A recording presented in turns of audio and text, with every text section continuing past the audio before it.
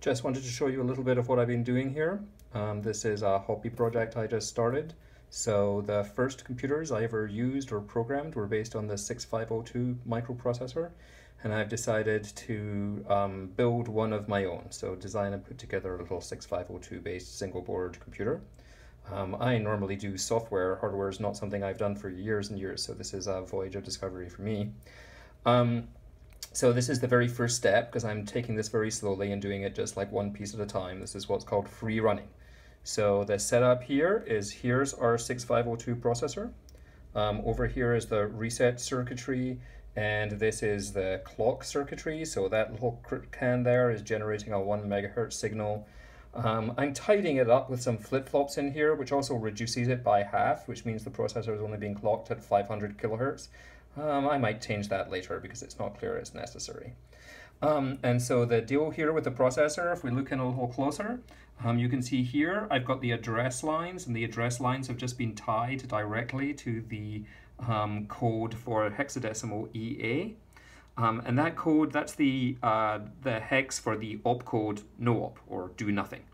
Um, and so basically what the processor does is, you know, it sort of keeps trying to fetch instructions from memory and um, and execute them, and the only thing it ever gets back on the data bus as an instruction is EA, that is do nothing, and so then it does nothing and then it moves on to the next instruction, um, which means that the address lines, which are largely disconnected here, the address lines are just looping from 0 to 65536 through the entire address space.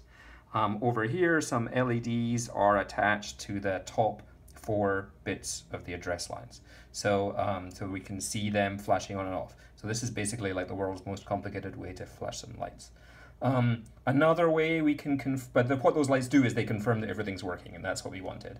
Another way we can see that everything's working is by checking out that, um, looking at the lines more directly with um, uh, multimeter here that's, um, that's measuring frequency. So I've got it plugged into one of the address lines and it's showing us um, a signal of about 8 kilohertz. And if I put it into the next higher address line, it switches to about 4 kilohertz. And if I put it into one more, whoop, it shows us about 2 kilohertz. So that's what we'd expect. We'd expect the address lines to be in a sort of binary relationship. Um, and so this confirms that everything is going, um, which is great. And the next step is going to be to add um, an EEPROM down here and uh, get us running some very simple program direct from memory. We still won't have any I.O., so we'll probably still be using some um, flashing LEDs just to know that everything's going on. So that's what that's what will come next.